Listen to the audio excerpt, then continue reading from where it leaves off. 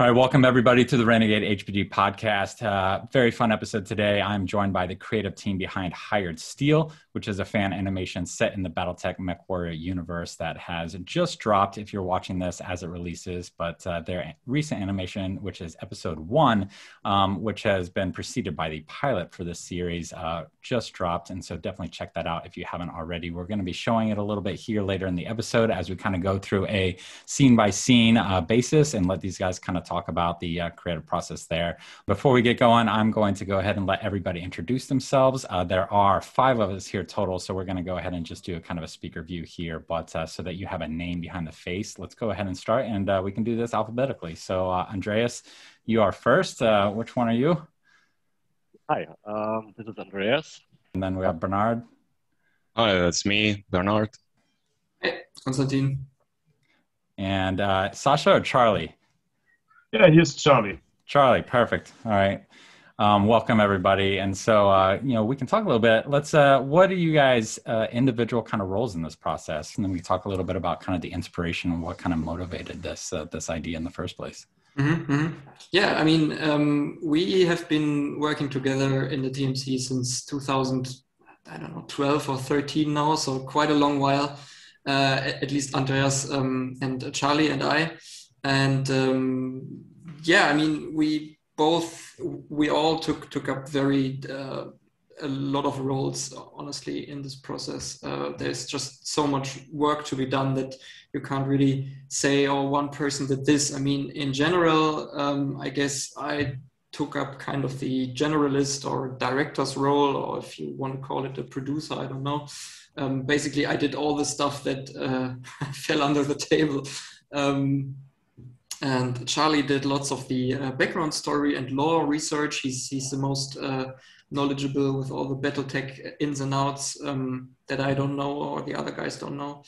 Um, yeah, Bernhard uh, joined us last June for the pilot. Um, he uh, maybe you know him from his uh, other projects. We can talk about that later. Um, and then Andreas as well. Uh, they both did lots of the animation and rigging work on the on the characters and mechs. Excellent. So, what uh, what kind of came first in the production process? Was it was it kind of Charlie, you know, going through with the the story and setting the the foundation, or were you just kind of you know thinking about some cool shots and then filling in the story behind it? Well, actually, first came up uh, Constantin idea about let's do a teaser like um, project inspired by the Astartes project from mm-hmm. Warhammer 40k. Um, during this process, we kind of thought, hey, let's let's kind of start a new Machinima project like we did back in the days with uh, No Guts, No Galaxy. We had this little, I call it prototype called Davian Blues. Okay. But it didn't continue, so production was halted back in the days. But anyways, uh, we tried to fill up the story. I wrote up the scripts for the first part and continues it by at least many, many, many more episodes, which we need to tear it down. But yeah, I was just looking at many reference images and videos from my library, mostly Japanese anime, classical uh, mecha animation like Macross, uh, Votoms, Gundam, and so on and try to fill the shots with my ideas. Yeah. And so did Went you guys to Constantin and uh, try to visualize it in a storyboard? Definitely. And so, what's uh, do you guys have a storyboard now for the whole series, or are you kind of just doing kind of a episode by episode storyboard? So uh, normally, um, at least what we've done with the pilot and, and the uh, first episode now is that um, we start with a written uh, yeah, Scribble, where we all have a, like an open document where we can add our ideas. Then that gets turned into a more solid uh, script, um, and then into, into into a storyboard. And honestly, when we started episode one, we didn't even know how much we could do. So um, for now, we have a like a rough rough timeline for the whole thing, but we we honestly don't even know how how far we can take it since um, there have been so many learnings now between all of the uh, different projects, and now with episode two we have so much stuff like we build a whole asset library that we can just now build on.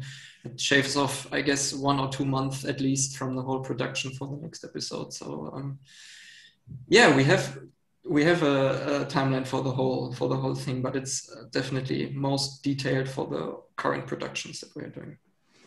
Awesome. And then this last one took six months. How long was it kind of, you know, getting that pilot out and starting like what happened before that one was published? Yeah, I mean, uh, like like Andreas mentioned before we before we started recording, this has been born out of uh, Corona and the COVID lockdowns, which are pretty tough in Germany, at least. Um, I guess in Austria as well, where Bernhard lives. Um, so uh, last April, we were all pretty much stuck in a hard lockdown and couldn't do nothing. And um, for most of us, uh, it, it, was joined by reduced work hours. So we sat down and said, "Yeah, let's let's let's do something." So the pilot took, I guess, in total about four months. That was from uh, beginning of April until August or September, and then we slowly started in August. Um, parallel to the finalization of the pilot with episode one, and episode one has been going for the whole time now. So right. six months, yeah. Uh, what led you to decide on the style that you took? You know, what kind of uh, you know was I know there's a lot of Mech Warrior assets in there you know and bernhard i've caught your video you know for the uh, for the remakes for the old mech warrior um, mercenaries which was awesome. I'll definitely link that so people can check it out. But uh, but yeah so what kind of you know led you to that? Are you guys more mech warrior online players? Or you come more from the battletech side of things so what brought us together back then was definitely MechWarrior Online. So um, the OG TMC was born out of uh, a competitive unit. Actually, we were all part of the Tamar Jägers. I don't know if they are still active, but they were back in the day. And uh, we actually uh, found ourselves because we wanted to make a promotional video for our uh, unit. So if you go onto our channel and select the oldest video, it's like from 2013. It was the first video that we made together. Um, so we definitely come from MechWarrior Online. Um, and to be quite honest, um, it was beyond our capabilities when we made the pilot to just model mechs from the ground up. So we were very thankful that uh, PGI enables uh, people to use their assets in such a way. Excellent. And Bernhard, how do you how do you find this? Because uh, you know, I actually found you before I found out the connection between you and, and uh, TMC here. What uh, what kind of got you involved in kind of remaking yours? Uh, you refer to remaking the the intro or getting yeah, into the TMC? intro. Yeah, the intro. Um, um, well, I was doing art for quite a while, but uh, due to marriage and kids, I took quite a long break and picked up 3D art. I think it was in 2018 again.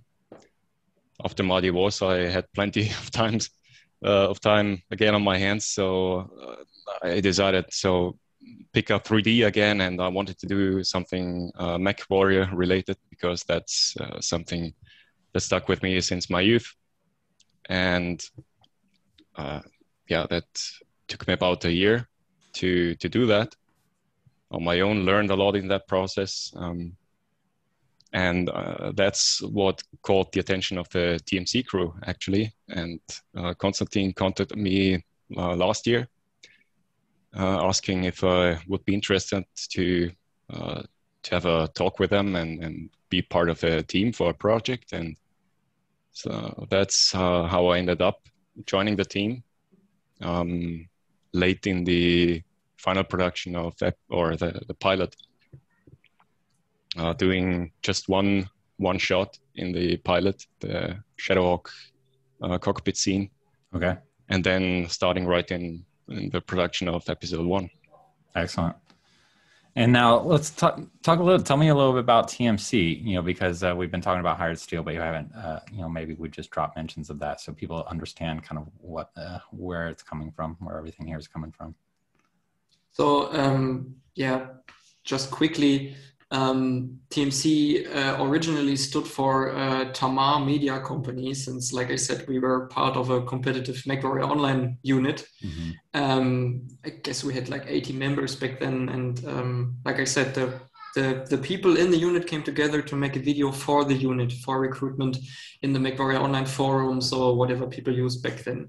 And um, that video was uh, so successful that people from other units contacted us, hey, can you make a video for us as well? So we ended up making videos for Clan Ghost Bear International, the Mech Rangers, 36 D-RON.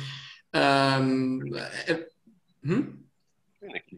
Phoenix Legion, exactly. Yeah, that was the first one where we uh, uh, did like proper 3D stuff. Um, so it it it grew from like a, like a unit service unit into um, into more like a standalone uh, little group. Um, we never did anything commercial or something. It was always just fan video focused, and then yeah, a few years back, uh, the MechWarrior online thing just dwindled out for us, and uh, we started um, moving to other games. And then um, I approached the guys uh, early in 2020 when uh, I was hit by the lockdown as well, and said like, "Yeah, do you want to sit down and make a make a full full CG 3D movie with me?" they were they were on board again, and so we just ramped up the TMC again. Awesome, awesome. And Andreas, what's uh, you know, in terms of your setup? I know um, Constantin had sent me some kind of notes on how everybody contributed, and yours yours yours had rigging in there. So, not being an animation guy, I'm not familiar with the term. You know, so what is what is that exactly in that creation process? The rigging or the animation? The rigging. The rigging. Um, yeah. Um, the first, um, we exported the um, asset from MechWarrior Online, um, the mechs and um, yes, we um, have to build our own rig um, for every mech. It's like bones, um, and you need a bone um, on every part of the mech. Move them. Um, they have a rig coming from uh, PGI, but it wasn't that. Uh, not not good or bad. Um, it's not that what we required for our um, work. My was um, to set up a rig, um, which you can easily pose. Um, so um, you can easily move the uh, mechs in the desired position. And um, then I started to uh, make some uh, walk cycles. Just the regular um, simple walk. I, I, don't know if you see the videos um, Constantin made, where he shows our process for the involvement of the um, walk cycle so that it looked realistic. That's um, in the first was my work um, and the most important part of rigging. Yes. Yeah.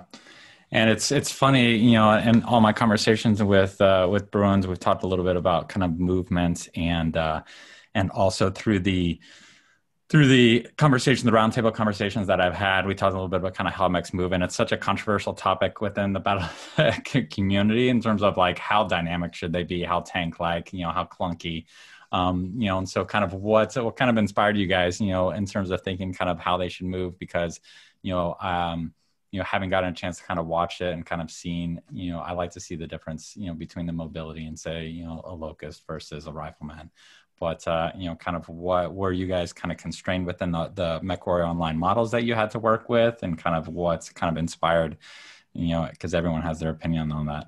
Mm. I mean, uh, what definitely is a big difference is the difference between 2D and 3D art because we are constrained by the shapes and joints and architecture of the models and even if we made our own models, uh, which we are now, by the way, for for uh, the coming episodes, we have uh, own own mech models that are made by the community and contributed.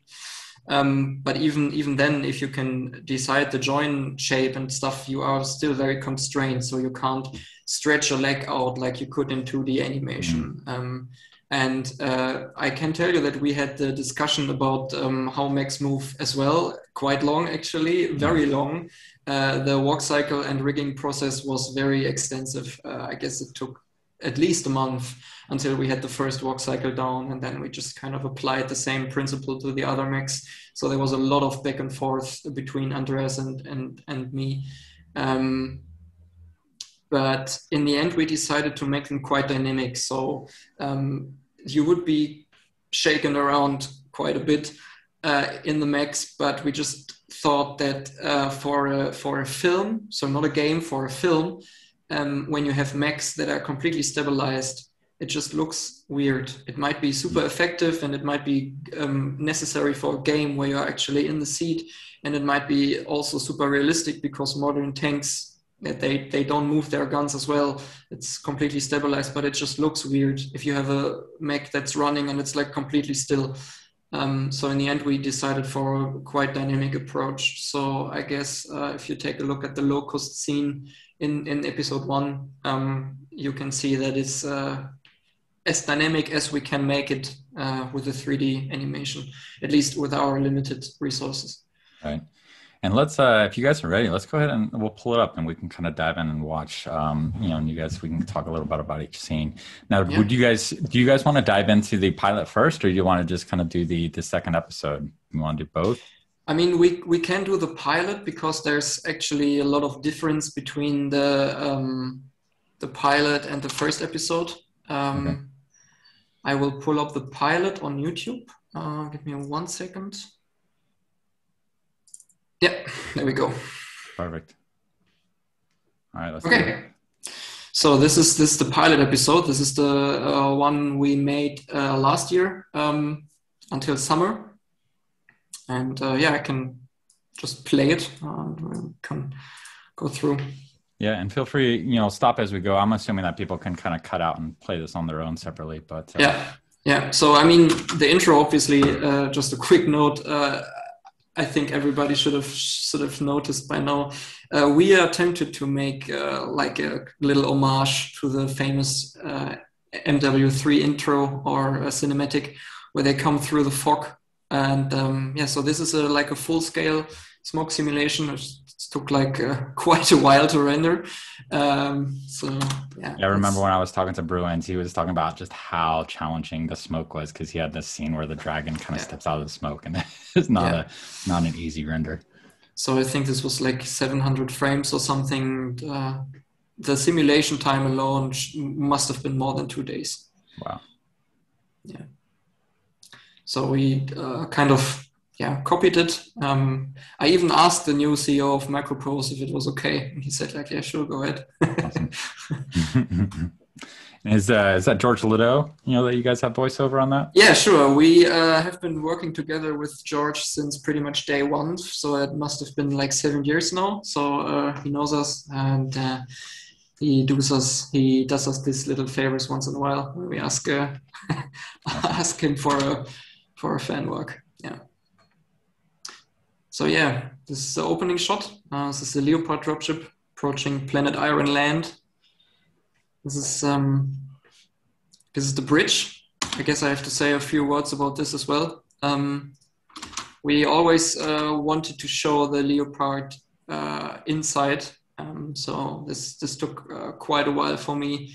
Um, this is completely built from the ground up, textured, um, lit, rendered. Um, the only stuff that we used is the outside geometry from PGI, but we completely retextured that as well. Awesome. Yeah, that initial shot uh, looks great. I bet approaching the planet. Yeah. We have um,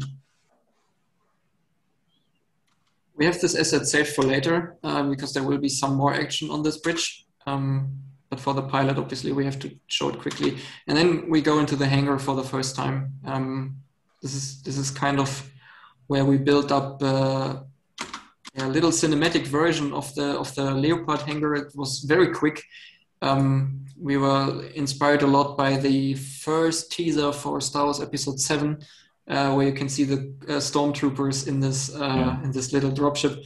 So that was kind of the inspiration behind it. Um, Andreas did the scene first of all in Unreal Engine 5, uh, 4, uh, so the MechWarrior 5 mod editor, and then we decided to move it completely into, into Blender.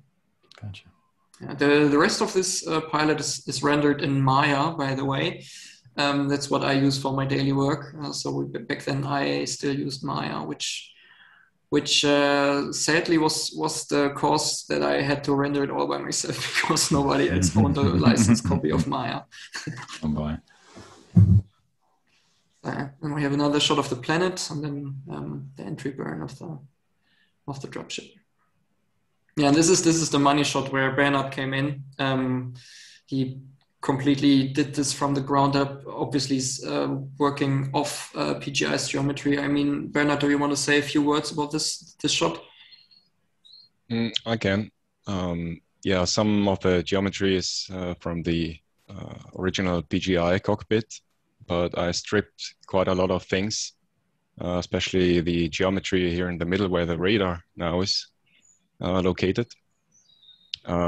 modeled buttons, did the screens, put the lighting, and also adapted a bit the animation of the of the pilot which uh, already came with the model, but uh, I wanted to give it a little bit of an individual touch. And yeah, so that's basically it. It's just a, few seconds, and I, I wished I could have shown a little bit more of the cockpit because quite a lot of work went in, uh, into it.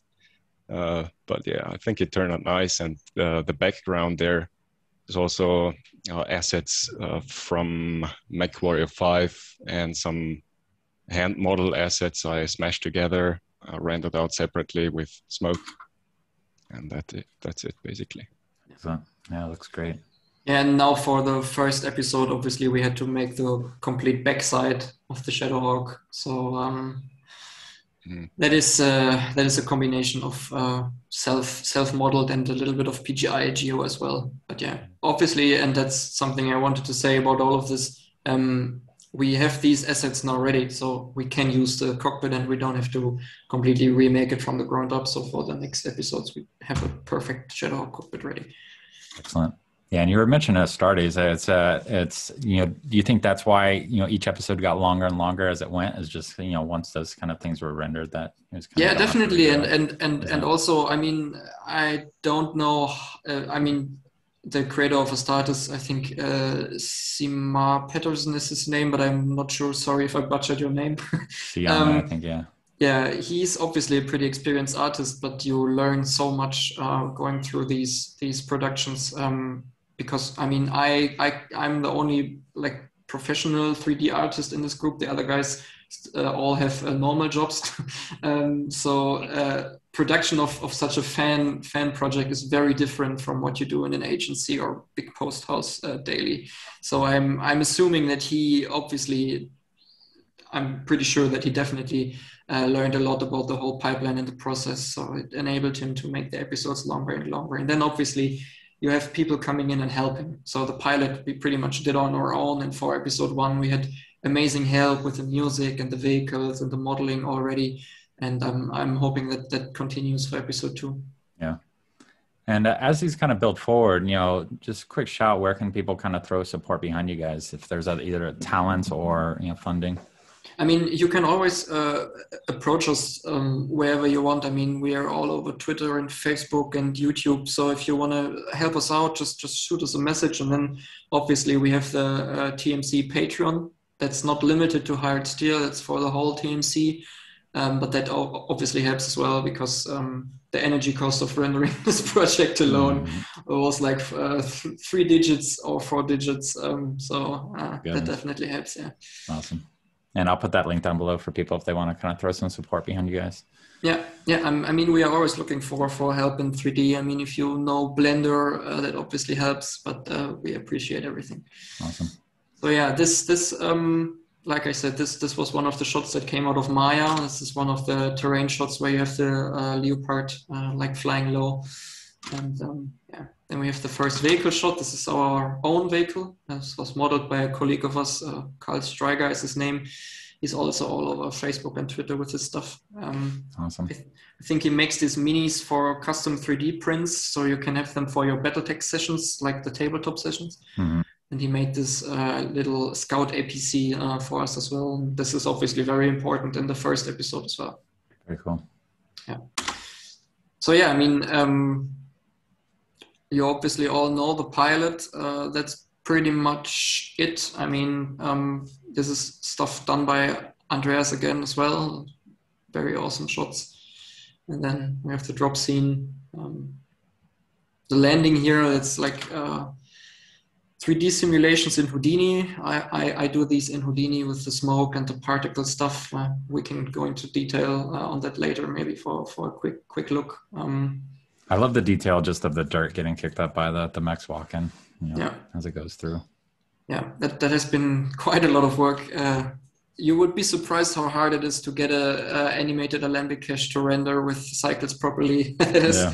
caused quite some headaches in our rendering pipeline but uh, in the end we we solved it yeah so it's that's uh, our mercenaries uh, starting into motion and that's where um, episode one picks off um, I, I think we said a few hours later so after the pilot in the Excellent. timeline Yeah. One of my um, personal favorite scenes, um, if you can rewind it late, a little bit back, Mhm. um, just of course, um, I don't know how many times I redo this scene. Not the landing, the um, first when they walk. Um, I did a version um, with all four mechs walking, um, show it um, to the rest of the TMC. Um, they say, okay, uh, please do it again. Um, I think I redone this um, 10, 15 times. And um, the hard time, uh, the hard job is um, to get the uh, foods to the ground. Um, not to go in detail, um, but it's a um, lot of work to get it, um, the foods not um, striding um, again um, the um, environment. So um, I learned to hate this shot. It's basically hand animating and placing the feet so they don't Yeah. seem be, uh, to be sliding on the ground, right? Got Yeah. Yeah. which which which then is another problem for simulation because if you have uh, feet not co- not properly contacting the geometry the uh, simulation algorithm i'm using is not properly triggering so then i have to correct these uh, footsteps and uh, it's it's it's more work than you would think Wow. Yeah so that's that's our pilot and then um, give me one second i can pull up the version 32 of the of the uh, episode one so there it is and that's um yeah the story is is picking up a few hours after uh, the, the pilot happens Okay. so we start with this big panning shot. I mean, Planet Iron Land. If you check the lore, it's it's a it's a very interesting planet. It's a combination of deserts and uh, very dense pine forests. And uh, we attempted to recreate this with this valley and, and the other scenes. Yeah, this is uh this is well the terrain looks great, but I love the framing in the in this opening shot for this. Yeah. But uh we'll let the people see it. I mean, we we um, for basically all of the shots, uh, all all kinds of, of people in the TMC posted inspiration from from other movies and Mhm. and and um, there's this saying that everything is a remix. So uh, I guess uh, episode one is a big remix of of stuff that has been there and our own imagination. Um, but yeah, this opening shot is turned out really really cool. Yeah, it's true. Well, you mentioned Star Wars before, and uh, I mean George Lucas did all those space battles based on what World War Yeah. One, you know, I think footage, video footage, World War Two video footage. So yeah. yeah, So this this this drone will will reappear later in in Hired Steel as well. It's one of our own assets too. I think uh, I did this model pretty much completely this time. That was Mhm. my 3D modeling job. I, I do this rarely, but but uh, when I do it, uh, it's uh, really really fun. Yeah. So uh, this opening shot, and then we go into the close up. Um, this this as well. Again without going into too much technical detail but we do these scenes in real scale. So um, in order for us to have the, the scaling between the mechs and the environment and the people right we have to do it on real scale. So obviously this drone was a few kilometers out. And um, the internal kernel of blender is still 32-bit i think. So what we actually started uh, getting into is um, trace precision errors um, for all of you familiar with it, uh, when you have a 32-bit um, room for your numbers, it starts to get uh, precision problems after after a distance. So with that shot, we had weird geometry flickering. We had the glass not working. The camera was shaking. So in the end, um, we pinned the drone statically and made the environment move like in the old silence movies. yeah, yeah. No, it's perfect solution. Yeah. But that's the kind of stuff that you run into. Yeah. and this is this is my personal nemesis. I think I think I'm I'm not over exaggerating when I'm saying that this probably took me two months um, and held up the process quite a bit. Uh, the other guys were moving along very quickly in the process, especially when when the two of them were animating at the same time. Uh, and I was stuck with this shot uh, because this is all completely self-modeled again. Um, and I severely underestimated uh, the task of, of building up this uh, abandoned base. Um, it's way too detailed for the drone shot detail, of course. Uh, so we uh, we will get down to the ground eventually. Um, but yeah, that's that's our forward operating pirate base that they set up in this old SLDF weapons depot. That's great, and I love uh, I love kind of seeing the the people walking around in the shadows yeah. and the light. That's you know great detail. Yeah, I mean, if you uh, we can go a little bit of, of, of, treasure hunting. I mean, there's actually a little Starleague defense force I can hear up there. Mm. It's very rusted, so you can can barely see. And there's people walking over these these walls. Oh, wow. there's one guy down here. and then uh, yeah uh, like i said it's probably a little bit too detailed but but again now we have this asset and now uh, we can speed up the pipeline a little bit more. Perfect. Yeah. And again these these vehicles are all custom made except for the thunderbolt. Um, but the thunderbolt uh, bernhard uh, touched up quite as quite a lot as well but you will see that in, in the coming coming episodes. Yeah. So, Charlie, were you the one that decided what mechs get used as the story man? Yeah, mostly.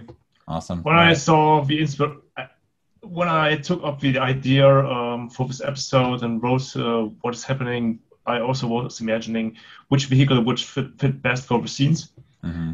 And immediately I remembered those awesome models uh, by Karl Streiger, what he did in the past and thought, okay, we need him in, in the team and we need his vehicles just to pull up this shot.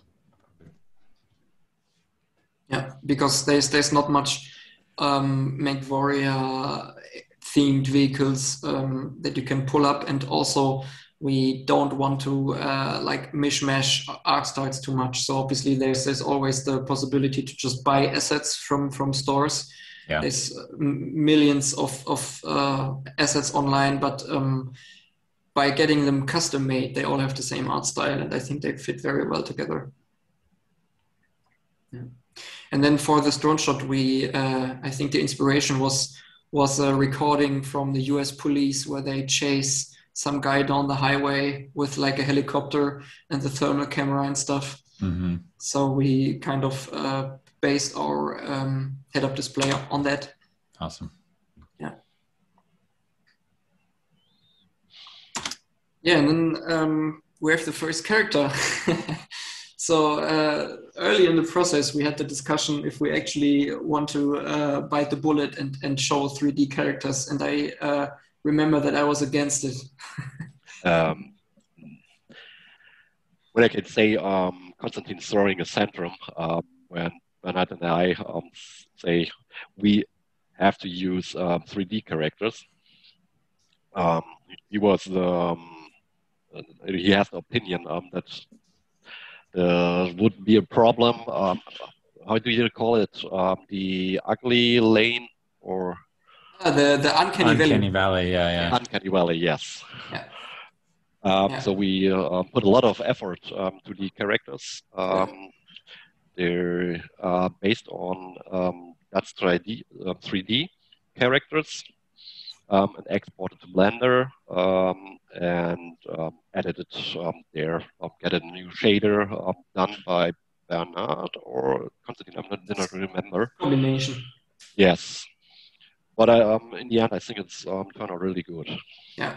Mm. Yeah, I mean, I mean, like I said, uh, I'm I'm I'm the guy uh, that that does this as his day job as well. And I remember that uh, my my old supervisor at my old agency was always like, "Yeah, we we don't do humans mm. because that never works." And I mean, um, obviously, these guys are not uh, perfectly photorealistic as well as you would expect it from like a Marvel movie or stuff. But we actually have to hand animate them, so there's no facial capture or something. Well, I Um, mean, even the big studios aren't out of the Uncanny Valley yet. You know, Yeah. between uh, between Luke Yeah. and Leia and Star Wars and uh, what a Grand Moff Tarkin. But uh, yeah, no. So I mean, in the end, the guys pulled it pulled it off very nicely, especially considering that um, this is hand animated, and everybody who ever did something like this knows how crazy hard it is to get human motion in, in Mhm. hand animation right, and it's a perfect job. Yeah, it's a, a completely different thing than animating mechs, which nobody has seen in real life and nobody recognizes how they would move. But a human, I mean, everybody knows subconsciously how they move and they detect the slightest uh, thing which is off. And so that was uh, quite a challenge, but I think we, we did a, quite a good job. So are you guys sitting at home with cameras on yourself, kind of you know acting out your scenes and then trying to Yeah. replicate it? Awesome. Yeah, that's actually what I did. Yeah. Very nice of Perfect. yeah, yeah, yeah.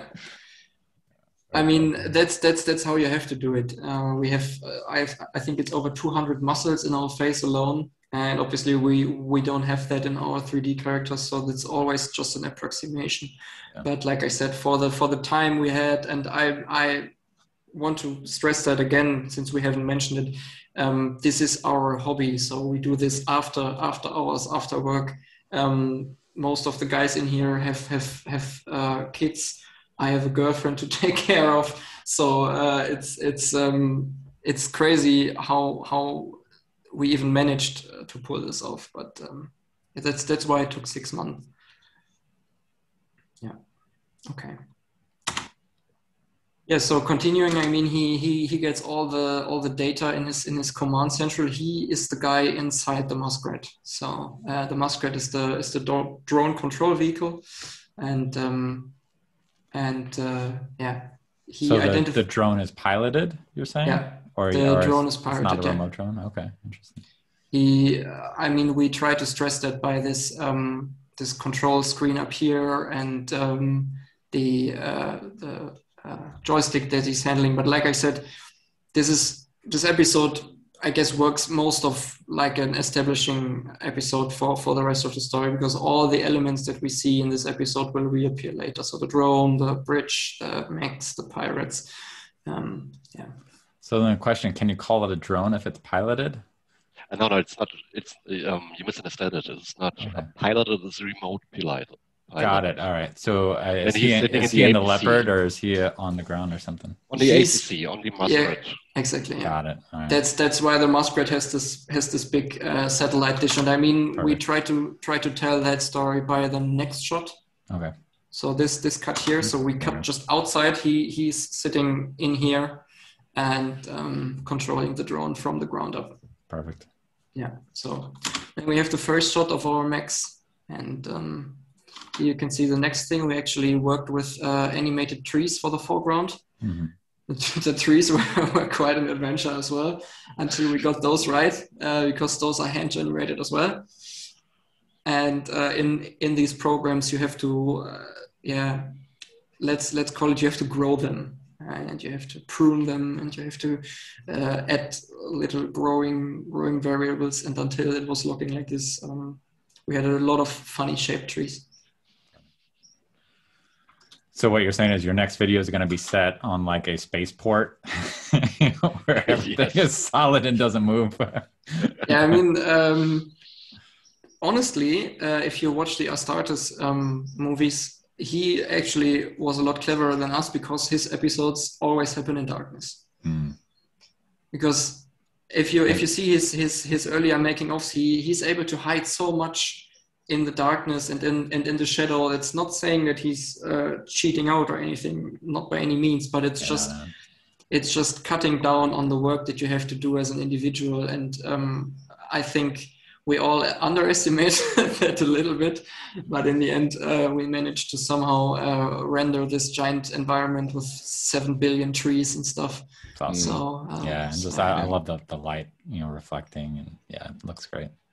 So in a way, environment is almost like uh, animating humans because it's also, especially with this all this vegetation, it's really hard to get right, and would have been easier to do uh, an Arctic scene or a desert for sure.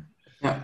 Or like a like a no man's sky alien landscape because you you don't have a visual reference how how a fern or how a pine tree looks like um, on an alien planet, but we do. Um, so we we kind of took the hard route, but I guess it paid off in the end. That looks great. You guys did well. We have our Merc Lance uh, stomping on, and then we have our next character. This is this this guy is actually voiced by Tex from the uh, Black Pants Legion. I, I think you know him. yep. Uh, he, he did a great job. Um, he recorded like two or three takes from from all his lines and did little variations and proofreads. But all our all our voice actors did. So uh, shout out to these guys. Um, I mean, we are not able to to offer any kind of payment because we are we are not making any profit ourselves. Uh, quite the contrary. so um, it's definitely a very very uh, great help, and we are thankful for every voice actor that we have. Awesome.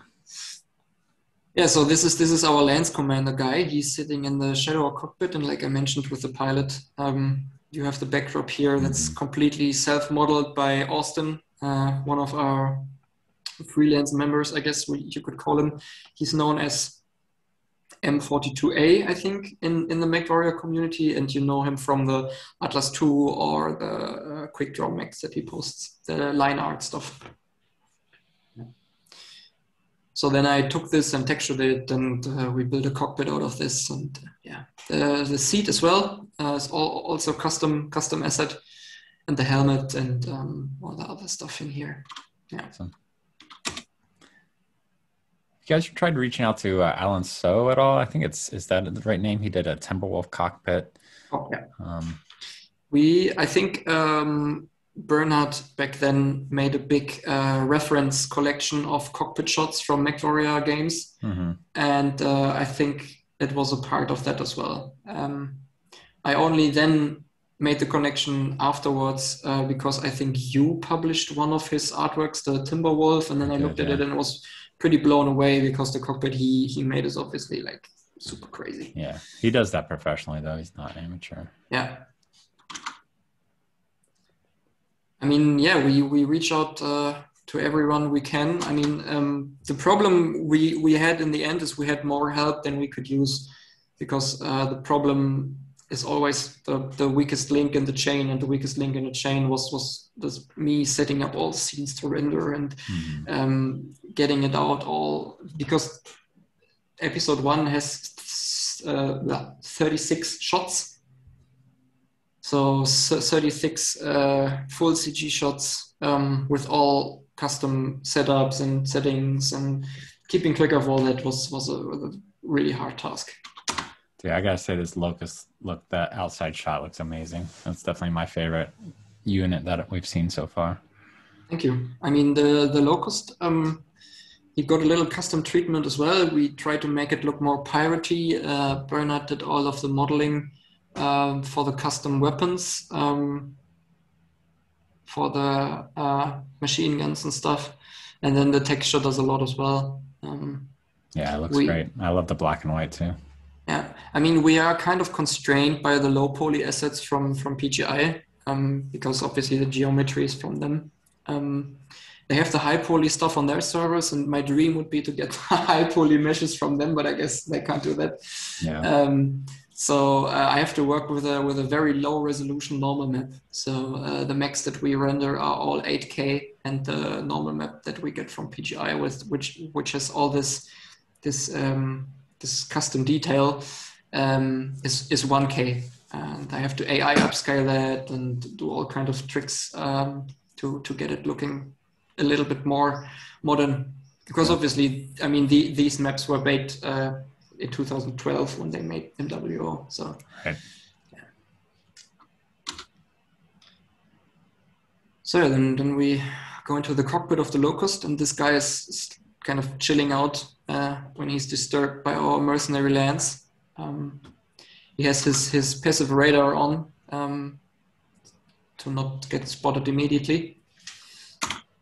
And then, before he gets a chance to uh, voice to his um, to his HQ, um, the, as soon as he turns on his mech, the mercenaries obviously get a blip on their radar, and then uh, they immediately try to take him out.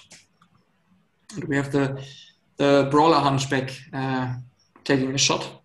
this this guy has has gotten the reactive armor treatment. Um, we try to make the hunchback even even more brawly by by giving him like claws and anti-personnel mines and uh, like a chef dispenser and um, explosive reactive armor plates and stuff. So this is our uh, close quarter specialist. Yeah. And then he immediately takes a shot uh, when he sees the hunchback start up. He misses, but he hits the antenna. So uh, that was a she, right? That's your female pilot. Exactly. Yeah, we we uh, try to get a little bit more diversity into the to the pilots because um, obviously, especially in the in the in the books, uh, the universe is quite diverse as well, and we wanted to hop in on that. And um, I thought it was was kind of cool uh, getting that in. And who voiced that? That's um, Aggie Law Girls is her name. She's a streamer. Okay. Um, but uh, if you watch the episode, we have all the names listed up in the credits, so you can check them out. Awesome. And then he obviously tries to to voice back. Doesn't work. Little clunky thing. And then they're trying to take him out. this is my favorite shot here. Just that those tracers following it. Yeah. Yeah, that looks. So I mean, we there's this there's this disparity between BattleTech and the MechWarrior games because um, in in like the real BattleTech or the the BattleTech um, video game, most of your shots don't hit, uh, especially over distance. So we try to get it a little bit more realistic, so that actually uh, like one out of 20 shots is hitting, and but that's already enough for the weak uh, knee joint of the locust because it's a direct hit. Right. So yeah. Mm. Let's watch this sequence again because so much so much work has gone into this. Um, we have the UAC spinning up on the on the rifleman, and then the, he he gets a splash hit from the laser and the traces. Uh, then one one hits, cuts the leg off, and then the locust is down. That that shot was quite a lot of work as well because there's so much going on, and we had to get the the glow on the armor uh, with uh, dynamic paint maps. Mm-hmm. So the, the laser was basically painting a black and white map on, on the texture to make it glow in, in that area. Then some particle effects uh, when the knee joint gets blown off and uh, and actually animating the falling or the fall of the locust was also quite hard. Yeah. Uh, the the walk or run cycles uh, Andreas did on this guy they were already great and the animation effort was pretty low but uh, once you have to create uh, animation which is physical uh, and dynamic that's uh, pretty hard stuff to get right. Yeah. I mean there's there's this there's this thing that uh, you always um, notice with uh, cg especially if it's not simulated but animated. A lot of the time what really breaks the immersion is, is the weight of 3d objects. So what's really hard when you are animating is to get the weight feel right, especially when it's um, a heavy object, because you always tend to underestimate the reaction that something makes when it falls down or reacts to something. Yeah. So this as well, like all the other stuff, went through probably I don't know 10, 20, 15 different versions uh, until we were happy with it we did uh, weekly meetings and then we did di- then then we did bi-weekly meetings to discuss uh, the process that we've done in between. And then we have a project controlling software that we use uh, but um, that was one of the shots that was iterated upon a lot yeah And then you have small parts of the mech that are actually simulated. So like these uh, these little hinges here, they they are actually simulations. So these are not hand animated. They react to the physical physical falling of the 3D object. I don't know if we can see that. No, yeah, I saw them bouncing. Uh, yeah. Actually, I I trashed the simulation. I finally I hand animated that thing. All right. Well, then I take that back. But I mean, we have the antennas for all the mechs that the, Yeah. these are simulated. Um, They are wiggling around. Yeah. Then we have the launch of the jump jets, and then we go in for the for the surrendering call. And that's that's one thing we discussed internally as well because um, the first plan was to have him just just shoot the pilot immediately, um, but then we realized that might be more brutal than we want our characters to be. So he he gives him the chance because the mech is obviously disabled and the pilot is is, is pretty close to dying already.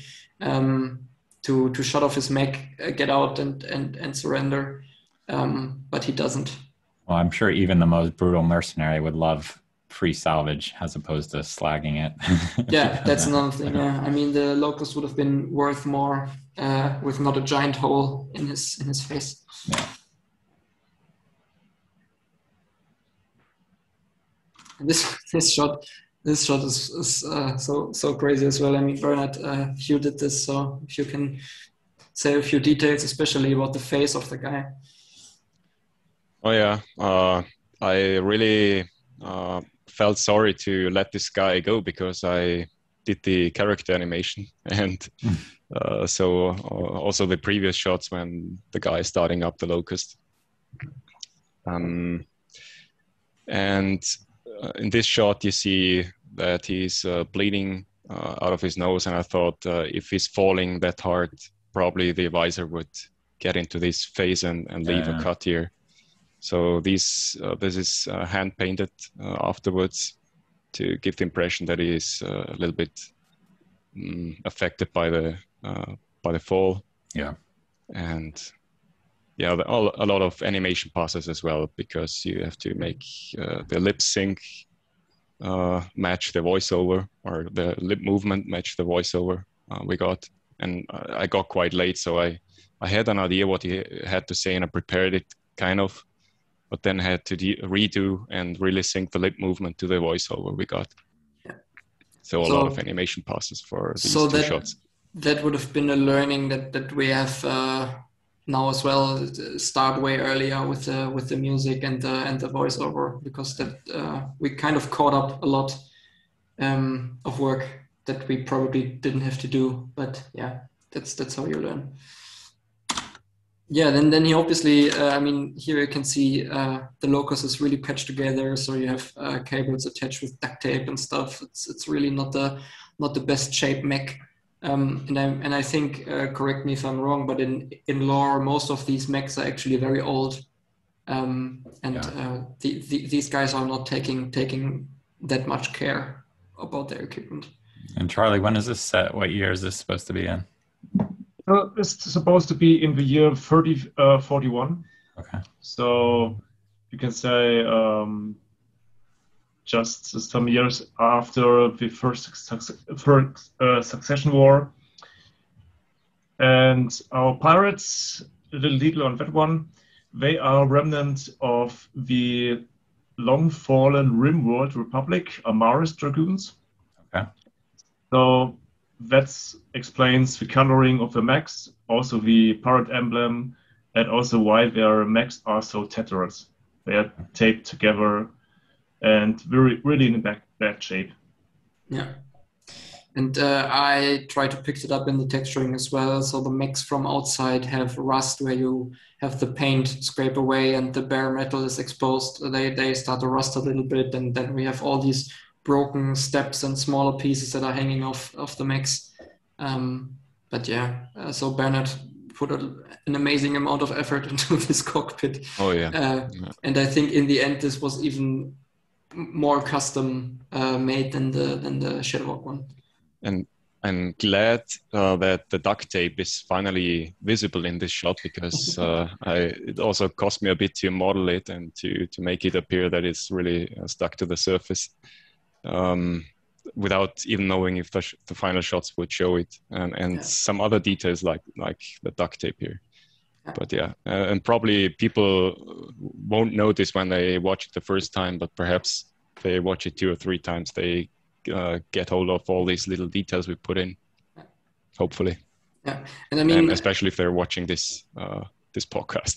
I would, I would, I would love to see it with a fresh eye because uh, the problem you always have when you work on on something for that long. I've I've seen this video in all of its versions probably a thousand times now. Yeah. And I don't notice anything anymore. Uh, you get so work blind, um, and uh, I just forget that this detail is even there. Yeah, I mean, that, I get that to some degree. Editing Renegade HPG and just appreciation for editing and seeing things over and over again is not my strong suit. I was just watching the, the Snyder cut of Justice League last week, four hours, and I couldn't imagine how much time you know these people have seen the same thing over and over yeah. again. So yeah, yeah, it's uh, you know, I, uh, I appreciate what you're saying. To be able to watch it with fresh eyes is is nice. Yeah. Well, you'll be able to get to see uh, DC Bruin's uh, new, anim- new animatic with fresh eyes because that should be coming out in the next couple days. Yeah, I saw that on Twitter. Uh, that's that's that's that's something great as well because his animation style is uh, and, and and his whole video style is so completely different from ours. Mm-hmm. Um, I think we can learn quite a bit from his way of making stuff appear in movement. Um, like I said, it's it's hard to translate that one on one into 3D, but he that's definitely something that that he really does exceedingly well. Uh, and I always love how fluid the light max move in his in his animations. Um, but uh, a quick tip: if you are a creator and you get work blind of your work, um, make a render of it flipped. If you if you flip it uh, like um, mirror it, sorry, um, then the brain has to rewire and it appears more fresh to you. Mm. So okay. if that ever happens to you, that's a common trick. Um, some some programs even have a have a shortcut for that because that's so common in our industry. So yeah, there's this. Yeah, he then decides to take on the uh, Shadowhawk in front of him with his two remaining light machine guns, um, which obviously doesn't work.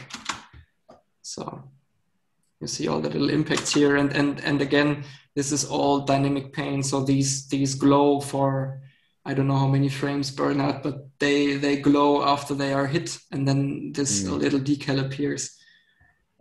Yeah i think uh, about 100 frames and also particle work on the cockpit. And yeah that was quite a lot of work. And i was even counting how many shots he probably could put out in these 100 frames or four seconds to make it uh, kind of uh, be realistic and yeah. The answer is uh, the little more than you that... had time to deal with. Maybe. Uh, I hope these little details are appreciated, and probably they are not noted. Uh, I mean, if it, if it's not noted, uh, if it doesn't stick out, then probably it's uh, uh, we've done a good job yeah. because yeah, they don't, or they look natural. Yeah and add to the picture. Yeah, then then we obviously have the have the final final moments of the locust locust pilots life. This this scene I think was the most heavy 2D uh, compositing scene that I that I did. Um, because all of the stuff that begins here is like completely overlaid uh, in, in in 2D. And we even have uh, casings eject from the UAC 5. um, but yeah. Yeah. Then locust is burning out. The guys are moving on to the designated target. So in, in the distance there in the mountain, there's the base at the foot of the hill. And uh, maybe in the next episode, we see them arrive there. Maybe. Maybe. maybe we have a full episode of them moving through the forest. Awesome. Yeah, that's us. Us four, and then and then the awesome rest of the team. I mean, there's our, our amazing cast, obviously, and then uh, the uh, additional crew. I want to give a quick shout out to to these guys, especially uh, um, Patrick, Kristen, Austin, and Eldon. Um, Patrick did the music for for this episode. Um, some of you maybe know him under his uh, artist name Prono Bozo. He does this kind of EDM dance music. You can find him on Spotify. Um, then uh, Christian or Karl Steiger, and then Austin or uh, he is uh, he wanted to be mentioned with his um, ArtStation name. Sorry if I if I uh, said that wrong. It's the Geiger A42, but you know him from his name M M42A. Uh, he, they they did the custom vehicle modeling for us, and then we have Eldon Eldon Kauger, the guy that made the T-shirt that you are wearing right now. We're here. yes, exactly. Um, Eldon, for the next round. You can't get this one. Actually, I think he does have some extras. So hop on real quick and uh, on Instagram, yeah. Aldonius yeah. Rex, probably the easiest way to connect with him. Yeah, I approached him. He made this awesome uh, 2D concept of RMX in in blazing amount of time, and then uh, Bernhard uh, turned that into the 3D poster that's used as a thumbnail and was posted by me. I think uh, a few days ago. Yeah, and then obviously we have uh, Nick who's our Houdini tool dev. Uh, he's not directly in TMC, but he's a real life friend of mine. He's a he uh, programmed some Houdini algorithms for us that we use for the step next step calculation and uh, and the other stuff that's that's custom made. And then uh, Tim helped out with with rendering as well. And then we have all our patrons that uh, keep the TMC afloat. Uh, big thanks to those. And then we have the special thanks, obviously you. I mean, uh, you've you've pushed us quite a lot during this time, and then all the other content creators and all the other guys from the uh, discords and stuff, and then of course our families who've been mighty patient with us, uh, spending a lot of late nights on this, and then our contents. And that's the first episode of Hired Steel. Awesome! Can't wait. How many episodes are you projecting? uh, I think I'm not allowed to say anything. All right, well, gag order on that one. Very cool. Well, yeah. what's um, you know, what are you guys' favorite shots in there? You know, is there one that one or two that each of you are especially proud of? I know when you mm. paused it with that locust down in the dirt. Oh man, that looked good. Yeah, I mean the like the the face palm of the the the whole locust sequence i think um, is is uh, one of my personal favorites uh, yeah that shot of the locust just coming across with the tracers following yeah. them oh that's such a great yeah. shot yeah and then and then the, and yeah and uh, bernhard's the, uh, you know highlight where the laser hit that looks that's good detail then obviously the glowing stump and stuff yeah i think that's my favorite shot what about you guys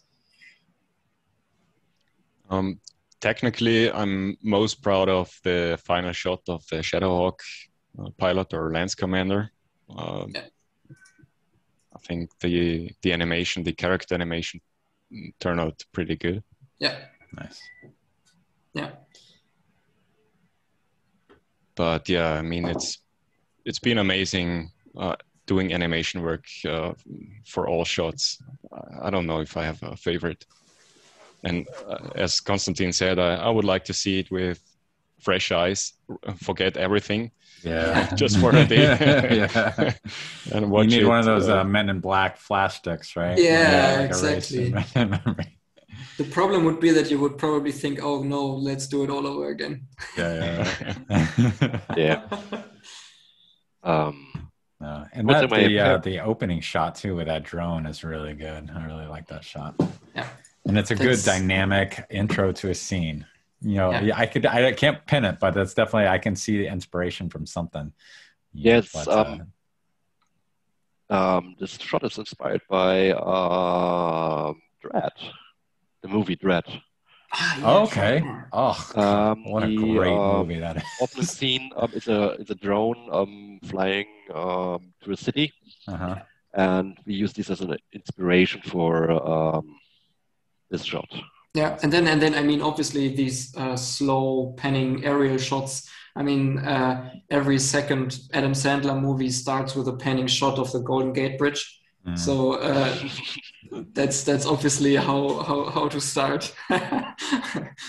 um, yeah, that's that's I guess uh, turned out fine.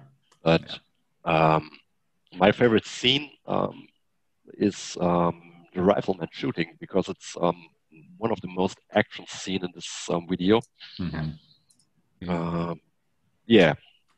Yeah. This okay. one. A little before. Yeah. Yeah. It wasn't it's that really powerful design. yeah. It's it's um, we drew a lot of inspiration from all the Warhammer uh, fan animations. Uh, I mean, obviously our starters, but there's other for Warhammer 40k stuff. Um, the Warhammer 40k community has the advantage of being about 50 times larger than the uh, mm-hmm. BattleTech community is, so they are much more uh, much more afloat with community 3D projects and and other art. Uh, so there's a giant pool of great ideas that we can be inspired from. Yeah, well, I'm hoping with the gallery we can identify some more and get them interested. I know with Bruins would be the first one that's coming out in the next couple of days, and then uh, I think then I've I've talked to uh, uh, Jared Owen, you know, for later this year because he's super busy now about doing a piece. But I, the next one, I think I'll track down a concept artist and and give them a short story and and have them basically spit out like I don't know however many concept art sketch that we can afford with the gallery, and uh, yeah, so try to pull new people in. We'll get yeah. we'll catch up to Warhammer one of these days. One day. Uh, what I want to say is, I mean, we are obviously very biased towards 3D art. So uh, if anybody is interested in in, in doing 3D, uh, it has been becoming so accessible over the, over the past years. I mean, obviously, Bernhard, uh, you've you've been doing 3D art for quite a long while. I, I think you even even did stuff for for MechWarrior 4, right? Mm, for MechWarrior 4, I was uh, doing maps, but I mean, I started with 3D when I was uh, 16, and that was on MS DOS uh, and Ray, if, if oh, anyone man. remembers that. Uh, yeah. Uh, so, so, so right now, I mean, I mean, computers have become so powerful that you can render these kinds of full CG shots in your uh, living room and um, there's free software. Obviously, we work with Blender mainly. We have some paid uh, paid paid programs in the pipeline, but you can pull off project like this um, with a zero software cost. So um, if you want to get into it, just go on YouTube, uh, search for for a tutorial for the for the stuff you want to do, and, and and get started. And if you uh, want to make uh, make art, you can always shoot us a message, and uh, we will help you out. Very cool. So have you guys already started on the next episode, or are you guys taking a little breather before you dive in? So um, what's really important is is um, after production like this, especially like as well if you if you're working in a professional environment, all your systems and servers they look like a bomb exploded. So we have um, we have a we have a hosted cloud somewhere where we uh, work all in sync, and that started out with a with a nice structure. well, that sounds a lot like my hard drive, you know, these days. Yeah, exactly. Uh, the the the problem is that this just blows up exponentially, and we have 500 gigabytes of of 3D data that we have to organize and clean up, and uh, missing textures and broken references and uh, versions of stuff that's uh, from December that we don't have to keep around anymore. So our current plan is to um, yeah, so currently we are planning the, the story. We are actually, uh, I think, pretty decided on what we want to do um, roughly. And then we will parallelly uh, start concepting and animating uh, the first stuff. And uh, while we are doing that, we are cleaning up our pipeline. So the next episode isn't so heavy on the pre-production side and we can focus more on, on uh, getting longer shots and longer animation and uh, more action in because uh, what you have to keep in mind for this episode, we had to create all of this stuff in addition to creating the episode itself. So all the assets, all the vehicles, all the scenery, the effects, um, porting it all over from Maya to Blender. But that's done now, so we can work with this stuff. Um, you you hear that a lot if you follow game development that's in alpha or beta. The developers always talk about that. They have these roadblockers and once they get over that, the the pace will pick up. So that's what what we are hoping to to get from from this uh, three to four weeks of of cleaning up now. Wonderful. And if people want to support you guys, is it TMC on Patreon? What's the Patreon tag? Uh, TMC was taken, so we are TMC DE. TMC DE. All right. What's yeah. DE stand for? Uh, Deutschland. okay. All right. Do it. Excellent. So TMCDE, don't give those other TMC guys your money. You know, support yeah. these guys and uh, help them pay for all those uh, the, the, electricity bills from uh, rendering these fine animations. Yeah. Awesome. What uh, you know? Are there other pro- outside projects? Uh, you know, the rest of the team is working on. You know, I know Bernhard. Uh, what's your YouTube channel, Bernhard? I can't remember off the top of my head. I'll definitely link it down below for people though. But if anyone's listening, you know, what's the name of that? Um, uh, just called Ra-Ul on YouTube. That's okay. uh, R A dash uh, U L. Okay. Excellent. And is that did you do the MechWarrior 2 redo, the the 31st century combat or just the mercenaries one? Uh, just the mercenaries one. Right, because there is a there's another one out there that too that looks good. Um, but uh, yeah, I love the mercenaries. Final tagline. Look yeah. at this way, kid. You get to keep all the money. Yeah, I I love that that intro more than the 31st centuries. Yeah, I have very good uh, fond memories of of that time and and period of my life, and also the the game itself. And I remember how amazed I was when I watched the intro. Yeah. And that's probably the reason I picked this as a, a project to to redo and mm-hmm. To tune my skills in 3D again. And looking back now at it, uh, I also progressed with this uh, with this hired steel episode one that yeah. I would do so much uh, different nowadays. Also having better hardware. Yeah. Uh, but yeah, it basically brought me uh, brought me the attention of uh, these guys. So um, I'm happy to be working now on, on such good stuff.